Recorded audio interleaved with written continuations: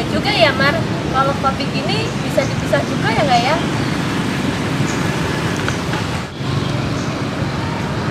Dalam kehidupan sehari-hari, kita sering mencampurkan gula, air, dan kopi untuk membuat minuman kopi.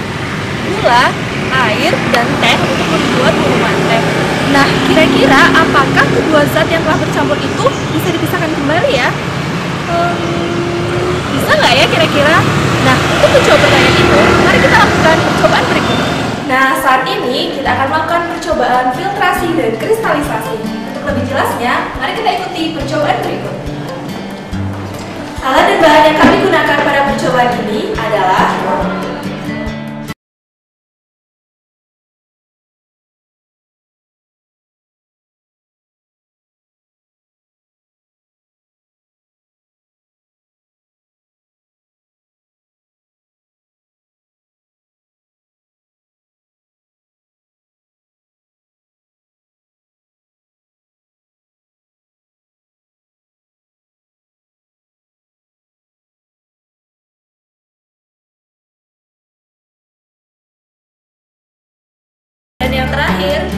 buah beker glass. Langkah pertama yang harus kita lakukan adalah mencampurkan gula dan garam ke dalam beker glass.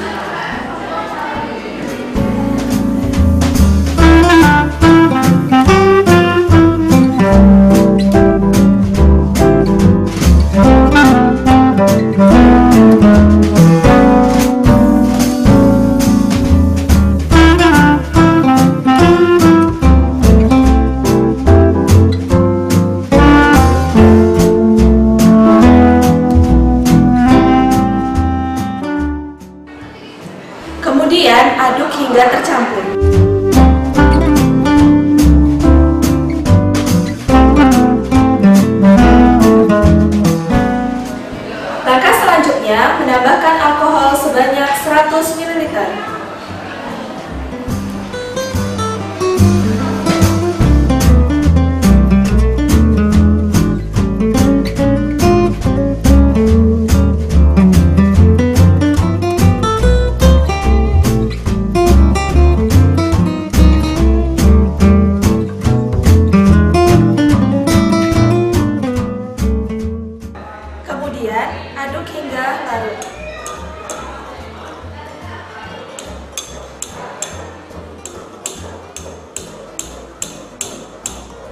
Langkah selanjutnya, menyaring larutan dengan menggunakan corong dan kertas sari.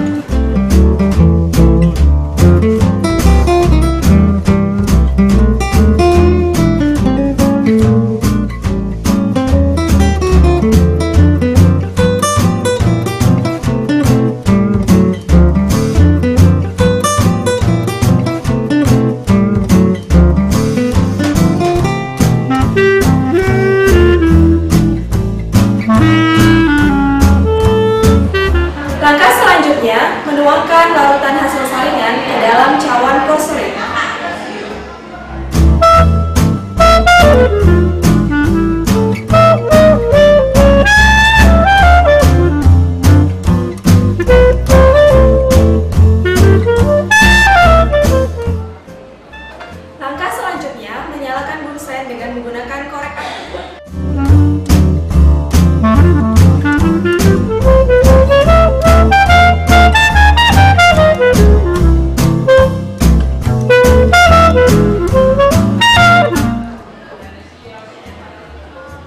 Selanjutnya, meletakkan larutan hasil saringan di atas kaki tiga.